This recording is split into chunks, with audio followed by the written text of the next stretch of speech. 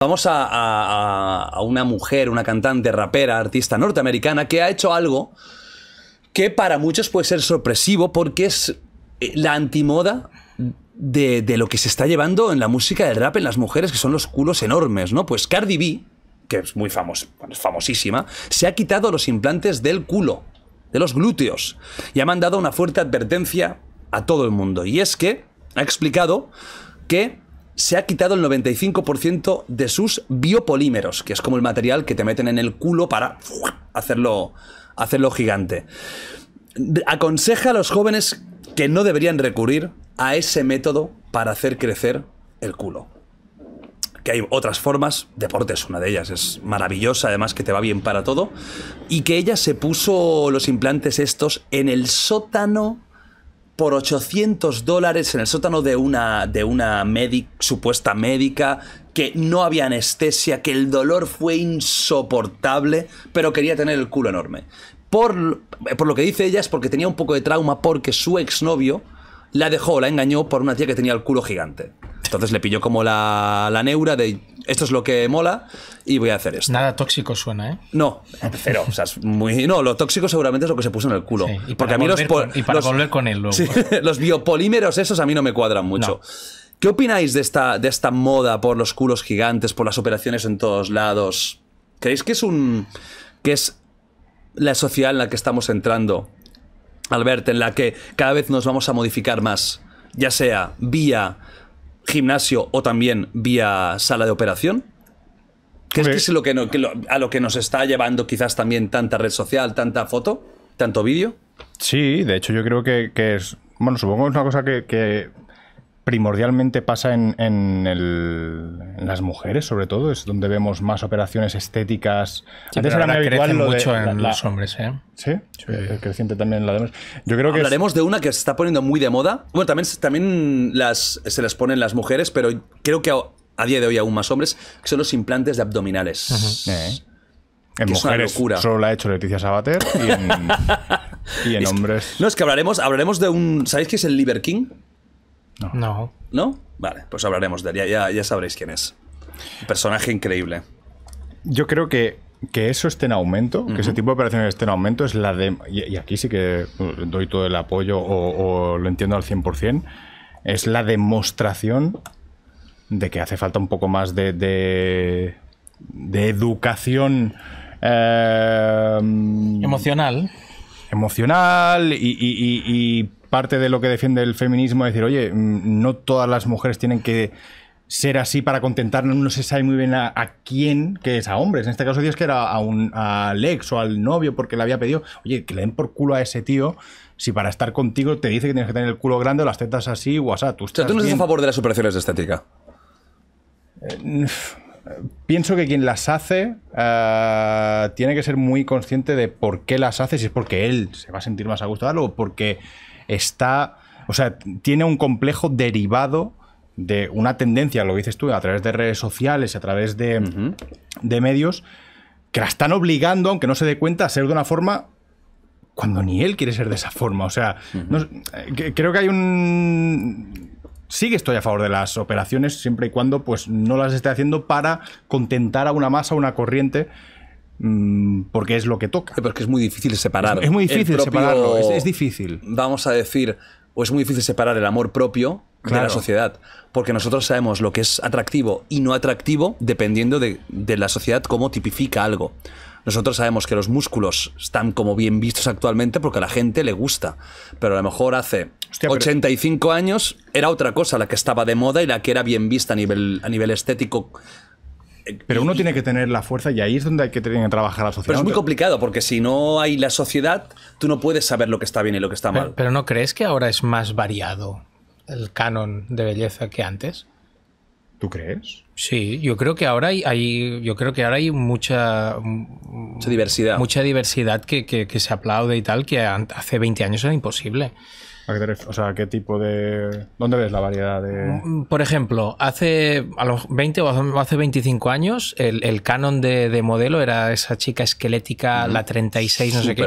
Ahora mismo hay muchas influencers, actrices y tal que lo megapetan y, y, y son y, y, tienen cuerpos pues o más normales o más exuberantes o sabes yo creo que, que, realmente ha ido variando eso y sigue habiendo chicas muy delgadas que también son, son referentes por así decirlo. ¿no? yo creo que, que ha ido que se ha ido ampliando un poco creo ¿Y estás a favor de que haya operaciones de estética? Yo creo que cada, cada uno se puede operar lo que quiera, uh -huh. como quiera, pero sí que creo que tendríamos que intentar educar mejor sí. porque operaciones con 16, 17, 18 años, uh, gente que, que o los, la, los, chicos y chicas que van a Isla de las Tentaciones, estas que tienen 20 años y están operados por todos lados, si es que con 18 años eres un niñato, como para pasar por el quirófano con lo que supone. A lo mejor necesitamos más, más aprendizaje, más autoestima, más, más saber querernos más, no sé qué. Yo no digo que no te pongas pecho, te pongas culo, no sé qué, pero liquidar las cosas tan rápidas, tengo 16 años, tengo un trauma, papá, págame las tetas, me parece que es, una, es, es peligroso y fácil. Hmm. Sí, a ver, yo creo que lo primero es que yo estoy siempre he estado muy a favor de las operaciones de estética en el sentido de que no le veo nada malo, siempre y cuando sea en un sitio legal, sea en un sitio profesional, sí. profesional y responsable, no sí, en un sótano de, de Mari Carmen, donde a saber qué coño te van a meter ahí. Pero si tú realmente tienes un complejo por el motivo que sea, puede ser un complejo por comparación social, por un trauma, porque eso, porque te ha dejado el novio, la novia, lo que sea. Porque tienes unos gustos tú que no los estás cumpliendo y no vas a llegar. Sea por el motivo que sea. Igual que una persona se va a machacar en el gimnasio durante cinco años para cambiar su físico, oye, si hay cosas que las puedes operar y cambiarlas, allá tú cada uno es libre, ¿no? De, para mí, de operarse o no operarse. Pero yo, yo encuentro, en la argumentación que yo daba, la clave que me faltaba es la que ha dicho él. Yo pienso que sí a favor totalmente, pero habría que controlar sobre todo en según qué edades, qué operaciones. Hostia, yo pienso que 18 años, pese a que sea la mayoría de edad, eh... No, no, podemos, no, a una persona mayor de edad no le podemos decir si se puede operar o no. No, no, claro que no. O sea, no, es que una persona mayor de edad puede hacer lo que dé la gana mientras esté dentro del marco legal. Totalmente. O sea, que otra cosa es que, que tengamos una educación que... Que te sirva para que cuando tengas 18 años tus mismo... prioridades sean otras, o sea, exacto. Lo que Pero eso es una muy idealizado. Sí, si cada vez estamos yendo a, a, a, lo contrario. Y tú, o sea, lo, y tú lo has dicho, algo inmediato, algo rápido. Cada vez estamos yendo a el físico tiene que ser X, que aunque haya diversidad, tampoco hay tanta. No, no, no. no, no. Hay, diversidad, pero dentro de. ¿Sabes lo que pasa? Que antes solo había, vamos a decir que en el mundo de la estética, solo había un canon mainstream, que eran las modelos de pasarela. Correcto. Victoria, que eran muy parecidas todas. Sí, sí. ¿Vale? Hoy en día, esto con internet, ¡boom! ha explotado y seguimos teniendo las modelos de pasarela, pero tenemos influencers de todo tipo, tenemos mm, en Twitter fotos, en Instagram las Kardashian, fotos, las... Uh -huh. pero no hay tantos tipos porque esto es una prueba que podéis hacer cualquiera, ¿eh? Incluso con, con chicos, chicas, vais a Instagram y miráis durante una hora el perfil de estética que aparece. A mí me salen cuatro perfiles, Sí. ¿eh? Clones de Kim Kardashian, tipo, sí, sí. que son todas iguales. Clones de semi-fitness culturistas eh, tal, que también está como muy de moda. Mm, pff, y- de Un intermedio Secret tipo un- Georgina. un intermedio tipo Georgina y Sí, poco sí. más. O sea, al final son cuatro o cinco perfiles Sí, que se repiten en todos. ¿Por qué? Porque Bueno, la mayoría tíos, usan los mismos filtros, usan las mismas poses, los mismos tiros de cámara y al final estás viendo repeticiones. Yo creo que está muy bien que la gente se opere si tiene un problema, ¿por qué no? Oye, Sí, sí, sí, hay- sí. hay- se puede gastar el dinero en cosas peores, pero sí que es cierto que, y es algo ya a título absolutamente personal, hay ciertas modas que a mí me parecen horribles. Por ejemplo, los culos gigantes nunca lo he entendido. O sea, una cosa es que tú ya seas una persona grande y, vale, pues van con O tengas caderas y tengas tu culazo, culo. Pero estos culos ultra Artificial. artificiales, gigante, como quizás tenía Cardi B, que me, me parecen a mí, es algo personal mío, mis gustos, estéticamente horribles, horribles. Chicas súper guapas que empiezan a, a- a- por las tetas, luego mm, eh, la cintura, luego liposucción, que no necesitan porque esto en un mes de dieta lo pueden llegar a hacer. Luego el culo gigante, luego los labios. Los labios es una locura, tío. Locura lo que se llega. O sea, el ácido hialurónico de los cojones. Y que no, que, que no queda. Hay chicas, tiempo y- no, y hay chicas que no lo dirías nunca y chapó, porque les queda perfecto porque tienen los labios muy finitos y te da el plus perfecto. Pero hay otras que ve- ves y dices, tío, pues que, que- que- que- o sea, ¿qué, qué tipo de, de- de- de percepción tan Pero ahí- errónea?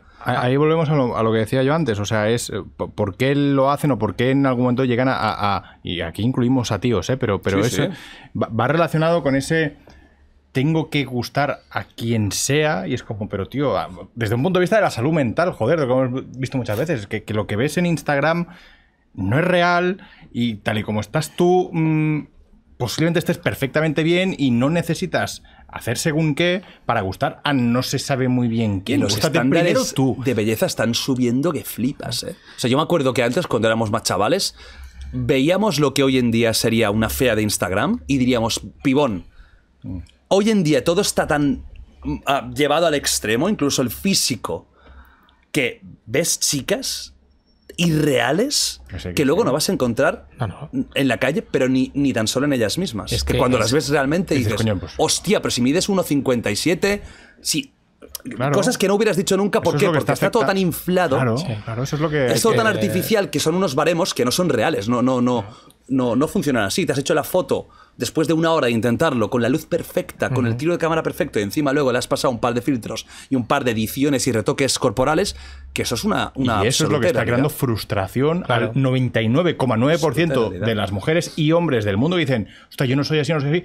Es que ellas tampoco son así. Tampoco y son no así ellas, tienes que ser así. O es que al final de tíos pasamos el filtro un par, tú y yo. No, no hay más, ¿sabes? O sea, quiero decir, ¿de, de qué se ríe No, el no, productor? total. No, y, y a ver, Nacho, lo único que, que, que tiene son los pies, Los que sí que están muy por encima de la media. Que no es lo que lo único es mucho, pero. Sí. No, pero ya, ya para acabar, el- ahora he, he recordado algunos casos de, de gente que sé que se ha hecho liposucciones y tal, que es una cosa mucho más. Y, y luego al paso del tiempo eso ha desaparecido porque es que no ha cambiado los hábitos. O sea, por favor, cambia tus hábitos. Mira dónde llegas tú con tus nuevos hábitos más saludables, deporte, dieta, no sé qué. Y cuando llegues ahí, decide pasar por aquí, pero pasar por lo fácil y a los tres meses estar igual porque no has cambiado los hábitos, es un poco la inmediatez esta que, que no- nos, nos amarga a todos, ¿eh? No, No tenemos paciencia. nada. Estamos en una cultura de la cero paciencia, una cultura del fast food cultural Sí, sí. y del día a día. Antes yo me acuerdo que tú pensabas en conseguir algo y te hacías un plan un poco a medio plazo. Decías, vale, voy a conseguir un cambio físico. A ver qué tal estoy en medio año. Hoy en día dices, voy a, voy a buscar un cambio físico. Y estás pensando, la semana que viene tengo una boda. Tengo un concierto. Tengo una gran fiesta. O tengo una cita con esa persona que me encanta. Tengo una semana. ¿Qué voy a hacer para conseguirlo? Porque lo necesito ya. Y esto Sí. es porque tenemos unos, unas expectativas absolutamente irreales Irreales. pero que no, de alguna forma, no hay forma de pararlo porque sería hacer un reset a a esta sociedad actual, es decir, empezamos un poquito de cero o tirar un poco marcha atrás 15 años, cosa que no va a pasar. Por lo tanto, a ver hacia dónde nos lleva esto. Porque no va a llevar a un sitio, a un sitio no. bueno.